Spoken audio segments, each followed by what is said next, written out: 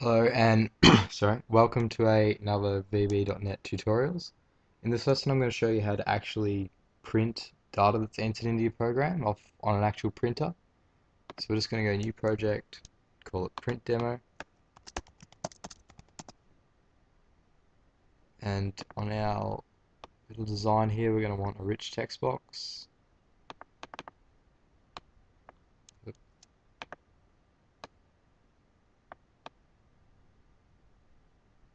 Doesn't really matter where you put it. And add in a button. Now what I don't usually do in, in the tutorials I've been making is correctly name the buttons. So text is going to be print. The name is going to be btn print. Just put up there a name. I'm just going to call this rich text box. Take off the one we're also going to need a print document and a print dialog. The print dialog, they're both down here. Print dialog, we're going to change this document setting to print document 1 and choose it from here. And now that we've done that, we're going to double click on print document 1.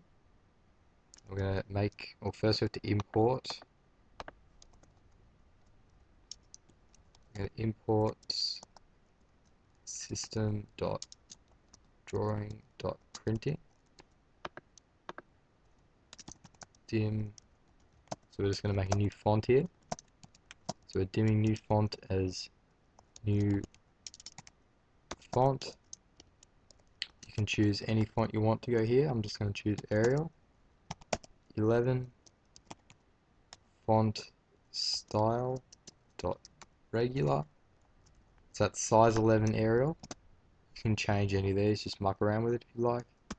E dot graphics dot draw string brackets rich text box comma using font 1 comma brushes dot black so it's going to print in black ink and that's the thickness of the brush which is the default.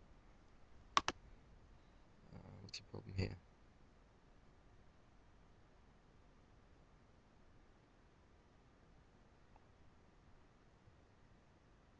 Hmm. Sorry, gotta go rich text box dot text. There we go. Um, so when print document one is called, it's going to run this code and we have to make our print button call that code. So um,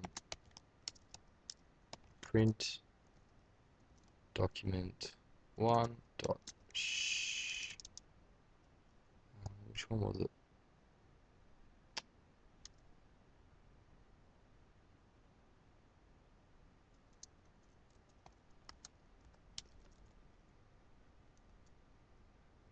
Oh sorry uh, print dialog.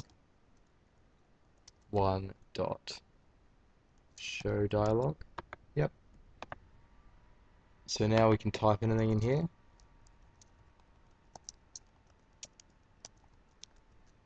Select print and we'll get our little printer thing up here. So we can choose any printer we'd like. Press print and it'll print out on your printer at home. Obviously you need to have your printer connected to this unless it's a wireless printer, so it does work, just you need to have it connected. Um, so that's basically how to use the print functions in VB.